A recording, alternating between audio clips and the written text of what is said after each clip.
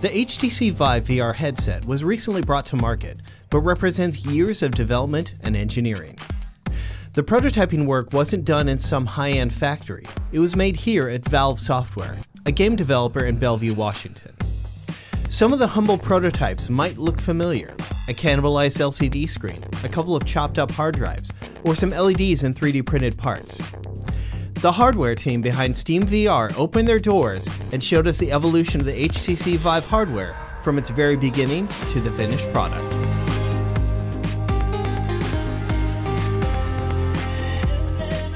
Hi, I'm Alan Yates. I'm a hardware engineer here at Valve. Um, I worked on VR projects here since, since pretty much I, I started four years ago.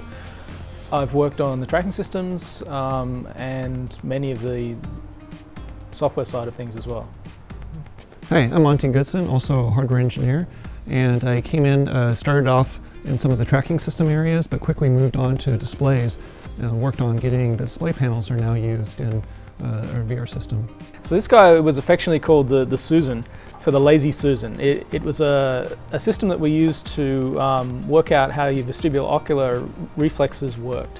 So you would put this thing over your head and you'd bite down on a bar and the display here, which is in, in front, was, was taken from a gaming monitor that had been modified for low persistence. And you would rotate around, would have this high resolution encoder all plugged into the PC. And from that, we learnt a lot about how your vestibular system, the, the balance organs in your ears, and the eyes work together. Yeah, one of the, the most difficult parts of uh, developing the VR system was how do we get around all the problems that existed in the previous attempts at making VR. And so we had to do a lot of learnings about uh, research and learn about what was it that was making people sick, what kept people from having a good experience in VR. And so it, it really drove a lot of the uh, uh, research and the development we did on optics, the lenses, the tracking system. It all came into the product that's shipping now. That one we call the Lighthouse, or I'm sorry, not the Lighthouse, but the telescope. Um, and it combines a optic stack that is, is essentially a, um, optimally designed in order to translate the laser um, scan display output into your eye with uh, no distortion um, so that it looks as perfect as we can get. And then behind that is a tracking camera that works with the fiducial markers you see behind me here um, so that we could very accurately track uh, the motion of this and update the display on, uh, uh, in this case, it was, I think, a line-by-line -line basis. It was chasing the beam, yeah. yeah. So it was being rendered pretty much as rapidly as it was being read out. So that meant it was always accurate. Whatever light you saw coming out of the device was the correct light for that position in the world. And that really taught us just how important tracking was. Like this thing you could hold up to your eye and it was like looking through a tube at another world. and you could move it around however you liked and no matter what you did, it was essentially perfect. It was really the first uh, glimpse we had at what could be achieved if you had very low persistence displays and very good tracking. We also found that with those experiments that uh, standing up uh, added a lot to the experience. Just sitting down was cool, but once you stood up, that little swaying you get from you know balance really added to the feeling like you're actually there. And so we quickly realized that not only do you need 360, but you need people to at least stand. And then eventually, as we went to kind of the room scale with uh, markers post, uh, plastered all over the walls, that people really wanted to walk around. And so as we started playing around camera systems like this guy here, which uses a camera and IR emitter and retroreflective dots on the headset, uh, that was uh, allowed us to deploy it internally to more developers than like just a single room could support. But it was very limited in tracking volume and what people could do with it. So uh, we, you know, tried many alternative different kinds of tracking and one of them was Lighthouse, but there were others as well. So we have some ex early examples here. This is a Galvo system that Monty built. We were kind of not really competing with each other, but we were kind of building things in parallel and we had two approaches. This one uses a laser and galvos and it tracks a point. So um, it's a, yeah, a QPD a quad photodiode. Uh, yeah, it was a quick experiment to see if like this would actually work. And essentially, uh, this is uh, just using analog feedback to the galvos, measuring the uh, analog difference between uh, uh, diagonals of the QPD and driving the galvos. And so once the, the laser locks onto this, you can move this all around and the laser will track it. And so you can see how that could turn into uh, a tracking system, except that uh, we realized that uh, scaling it to something that could actually track enough points to get a, a, complete pose, and then scaling it even further to track multiple objects like controllers would be difficult. And that's where Alan at the same time was working on uh, some of the first proof of concepts for Lighthouse, and it was proving to be much more interesting and much more scalable. And so uh, quickly moved on from this to work on display stuff because there was a lot of work that needed to be done there. And then took off with the Lighthouse. So my, my solution for the, the problem of, of essentially scaling this to, to multiple points was to continuously sweep something across the room. Now I actually made another tracking system before this called Sparkle Tree that used a, a projector to do this, but it had uh, field of view limitations. So uh, I had this idea based on um, you know those rotating beacons that you see on top of like police cars and things like that. Uh, there used to be these sand skimmers in, in, back in the beach where I used to live in Australia. And I would watch the, the rotating beacons on that and, and I kind of got the idea, well, you know, if I knew exactly what angle they were pointing at, I could probably work out where the, the skimmer was. And many years, you know, passed before I actually built it. So I 3D printed this, this little simple system. It's a, a motor out of an old Xbox controller and a laser. And this was like the first scanning assembly that we ever built. It just produces a sheet of light and the sheet of light gets spun around and what, from this I then went on and built the real proof of concept that could actually give you angle data. So that the original prototype still works today and this was the proof of concept that said, yep, you're onto something, this could actually work in reality. From there, it was a long journey to make it practical. So we built some of our first base stations. Um, ben Krasnow was you know, he's a great mechanical guy. He, he took a lot of interest in this project at that point. This is like two sawn up hard drives. Like literally, Ben got a chop saw, cut the hard drives up, and he's put these motor controllers that are just off the shelf stuff and a, and a bunch of electronics here. We've got um, a carrier generator for the lasers, and this was really sort of the, the first true two-axis lighthouse that could really track things. Um, now, at this point, everything was cable sync, so the, the synchronization signals that were telling you exactly where the, the rotor was in time were delivered over cable.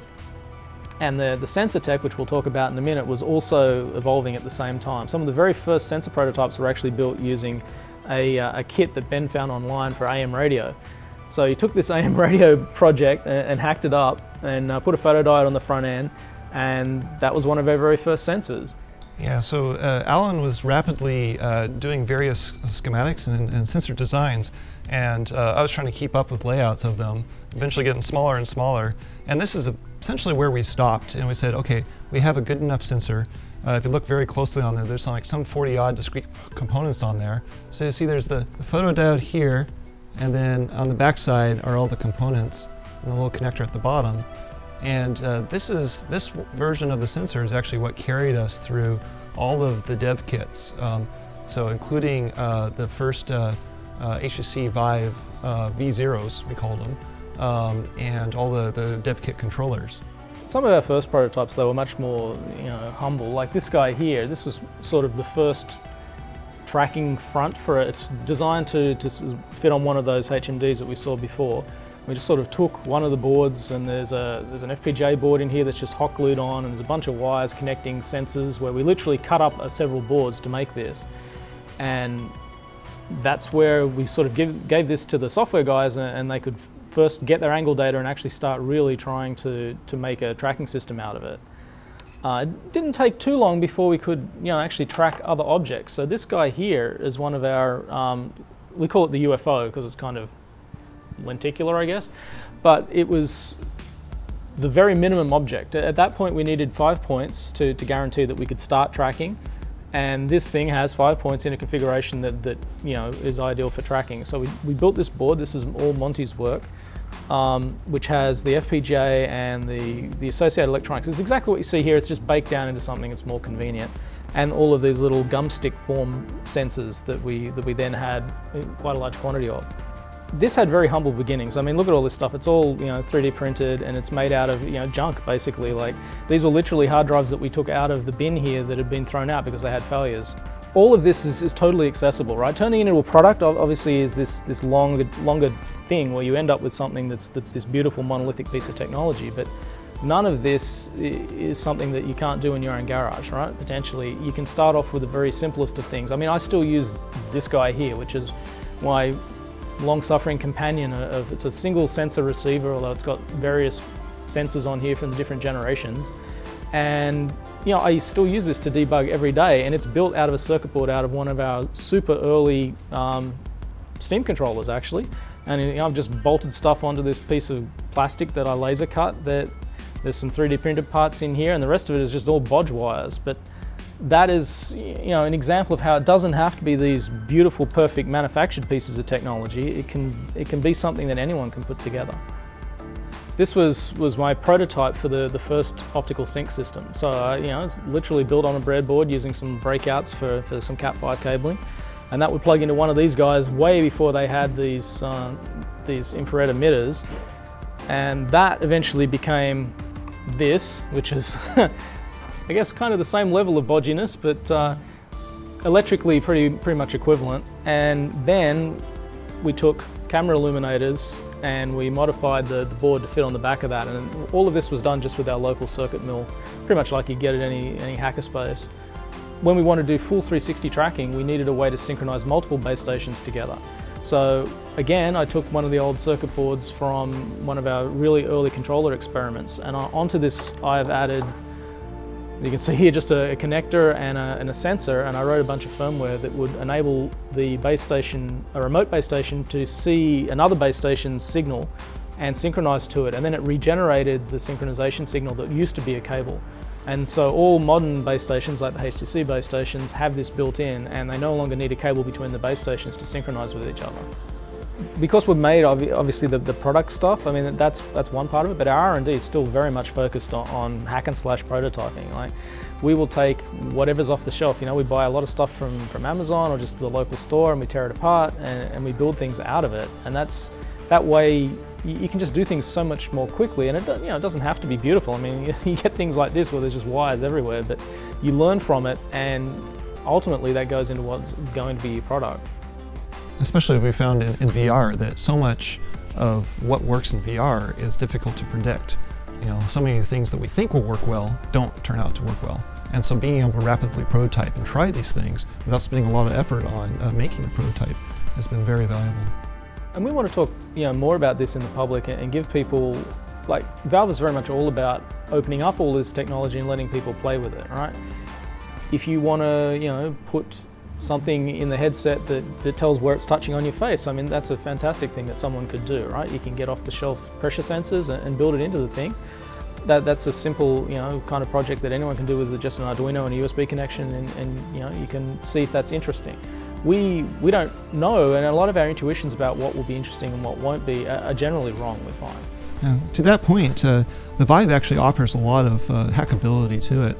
Um, it's, it's quite modular. Most people haven't figured this out yet, but you can snap the, uh, the head strap off completely. And so there's you know opportunity for people to mount this in like you know different ways on their face. Um, the foam itself is just velcroed on, and so people are already starting to you know find uh, new and different facial interfaces that work better for them. Um, even the nose gasket itself is clipped in there. And so if you don't like it, you can just take it out or potentially do something different. Um, and then uh, on the top here, kind of hidden underneath this uh, uh, top strap cover is an auxiliary USB port.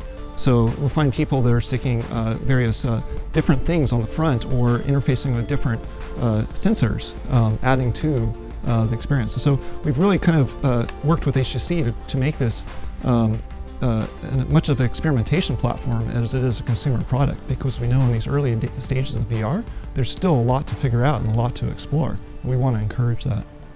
Similarly, if you pull apart base stations or controllers, you'll find the headers in there. You'll find um, for programming. We didn't lock down any of the firmware. It's all you know accessible. You can download off the device, reverse engineer it. You can upload your own custom firmware to it. We're, and obviously HTC is not going to support your warranty if you do that, but you're completely free to do that and we, we encourage it.